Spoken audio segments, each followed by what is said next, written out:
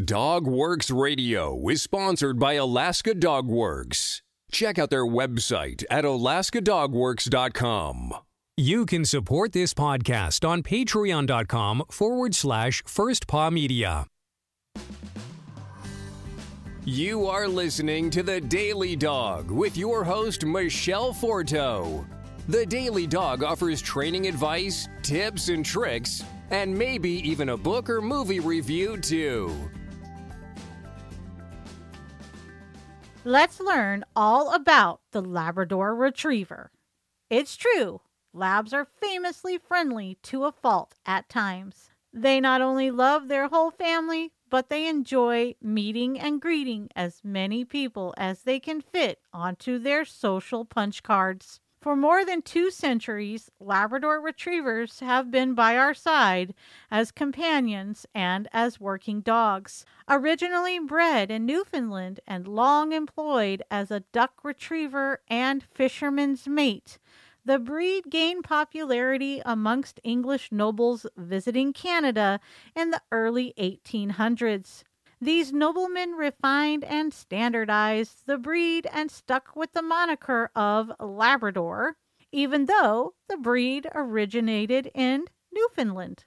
Today's Labradors have retained that easygoing temperament.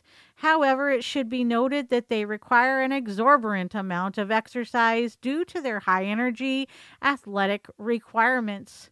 What kind of jobs do labs excel at? Besides being great companions, labs love having jobs like fetching the newspaper. Wait a second. Is that even still a thing? Maybe we should update this to fetching a seltzer from the cooler. Labs take their jobs seriously when they've been selected and trained to perform tasks for the disabled as service dogs. Labs help keep us safe in public transit areas by sniffing out bombs. Labs are used to detect illegal drugs, and labs are even being trained to sniff out bed bugs. What do labs like to do for fun? Labs are one of the best choices for people who are active. Labs love long walks but prefer a run or a bike ride at a decent pace. Labs enjoy sports too, like flyball, frisbee, tracking, hunting trials, obedience trials, rally, agility, and even dock diving. Let's talk about their trainability. Labs are highly trainable. Training should begin the day you get your lab, no matter the age. Training, however, should be age appropriate. Labs do well with treats and toys as part of their training toolkits. Keep things challenging to ensure engagement instead of boredom. Traits Labs come in three colors chocolate, black, and yellow. Males are slightly larger than the females. Males are between 22 and a half and 24 and a half inches and weigh between 60 to 75 pounds, while females are slightly shorter at 21 and a half to 23 and a half inches tall and are weighing between 55 and 70 pounds. My experience. Well, over the years, I have trained a lot of labs some with textbook temperaments and standards, some with less than temp- textbook temperaments and standards. Overall, I rate this breed as a 7 out of 10, 10 being the top dog. Labs tend to be teachers' pets, easily trained with low defense drives and high pack drives.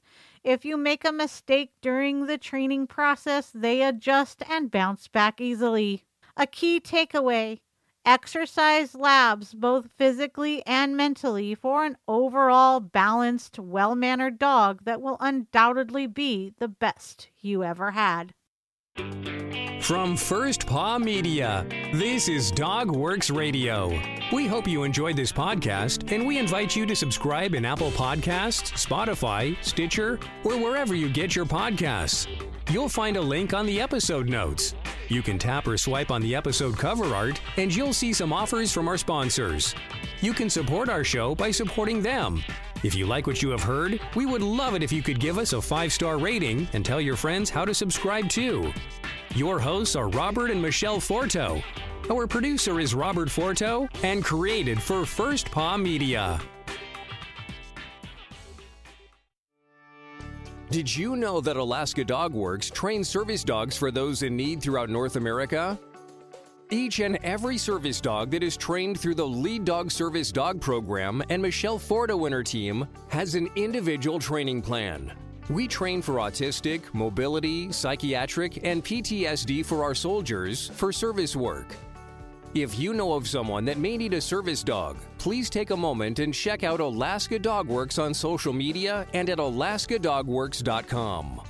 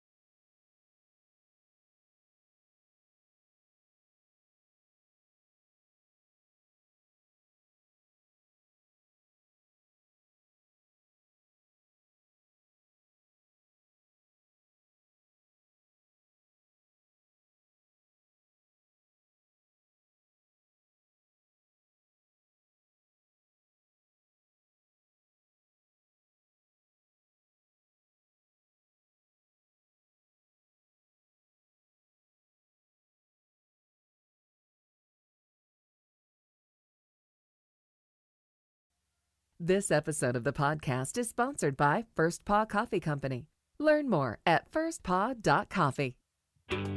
From First Paw Media, this is Dog Works Radio. We hope you enjoyed this podcast, and we invite you to subscribe in Apple Podcasts, Spotify, Stitcher, or wherever you get your podcasts. You'll find a link on the episode notes. You can tap or swipe on the episode cover art, and you'll see some offers from our sponsors. You can support our show by supporting them. If you like what you have heard, we would love it if you could give us a five star rating and tell your friends how to subscribe too. Your hosts are Robert and Michelle Forto. Our producer is Robert Forto and created for First Paw Media.